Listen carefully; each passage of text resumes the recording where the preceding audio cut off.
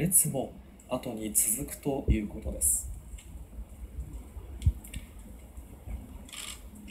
今自重によって掲げられているお考えの姿そしてその下に天皇陛下の姿が見えてまいりました。お考えと呼ばれる菅笠が天皇陛下の、えー、頭上に掲げられているところです。火の明かりだけですので、えー、表情をこちらから伺うことはできませんが一歩一歩天皇陛下が前に進んでいらっしゃるのが分かります。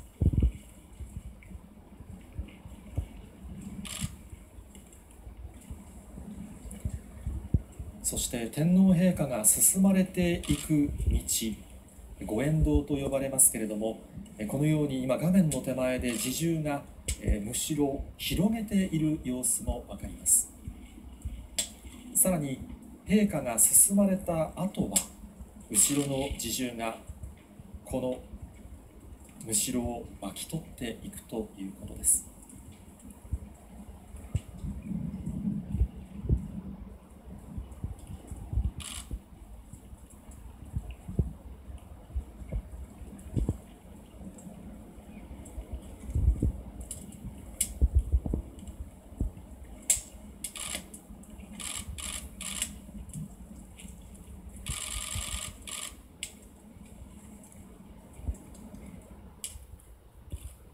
今画面が変わりました、えー、少し明るくなっているものと思われます。天皇陛下が一歩一歩前に進まれている様子お伝えしています。あそして皇后雅子さまの列も進んできました。皇后さまは真っ白い十二一重白の呉服を着用されています。この十二一重は即位礼正殿の儀が行われた先月22日の朝の宮中祭祀でも皇后さま身にまとわれたものです。所さん。あのこういうふうに特に大事な神事には白いご装束をお召しになるということはもう平安の初め3点の御代から決まっておりまして、はい、それがずっと守られておるということですね。一番正常なあ金の最も地に近いものでございます。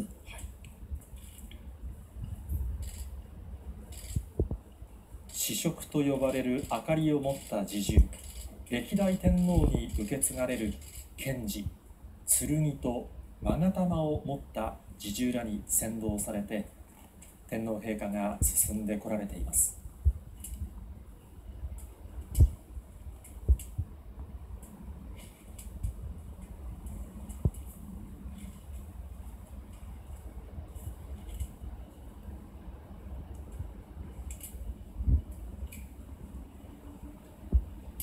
天皇陛下がゆっくりと雪殿の前に到着をされますとまず侍従が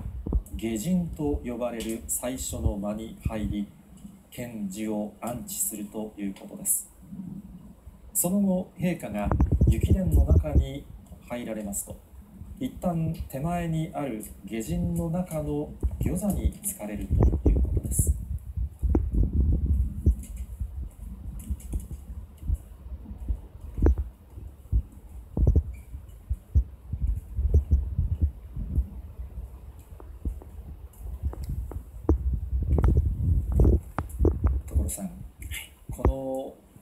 大城祭はもう夜中中行われるということで、えー、かなりのご苦労のある祭祀ではないかと思われますが。そうですね。ただともかくご一代で一番大事なお祭りですから、はい、あの襲来と申しますけれども、えあらかじめ練習などをなさって、はい、本当に最高の心身の状態で臨んでおられると思います。はい、で念のため画面に出ております皇后様は、その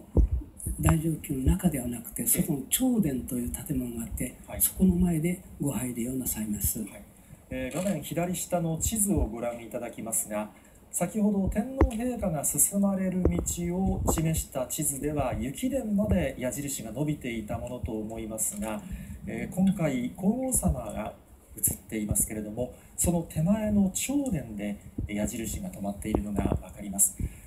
陛下と皇后さま、えー、非常に近い場所ではありますが違う場所に向かわれています。髪型は伝統的なおすべらかしで髪の正面に光る髪飾りは平びたいと呼ばれるものです。先ほどもお伝えしましたが皇后さまは天皇陛下が入られた雪殿の手前にあります長殿というやや小さめの建物に入りそこで拝礼を行われます。所さん皇后様は長殿に入られるということですね、この違いについては？あの毎年の南さんもそうですけども、はい、お祭りそのものは天皇陛下がお一人でとかご自身でなさいますので、はい、あのこの大乗祭も天皇が中にお祭りなさいますけども、はい、この機会に皇后様もあの朝殿で拝礼をなさると、うん、他の皇嗣殿下以下もそうだと思います。えー、皇后様の後ろにはですね今は映っていませんが秋篠宮妃紀子さまをはじめ女性の皇族方が続き、えー、いずれも十二一重を着用されています、えー、この後皇后様頂殿に入られます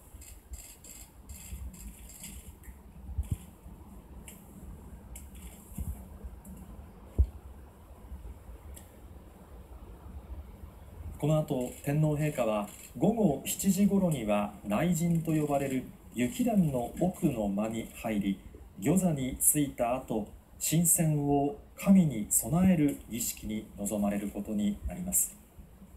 そして内陣の中に入ることができるのは天皇陛下と船目と呼ばれる儀式を手伝う女官2人のみだということです。今天皇陛下が雪殿そして皇后さまが長殿に入られる様子をお伝えしてまいりました。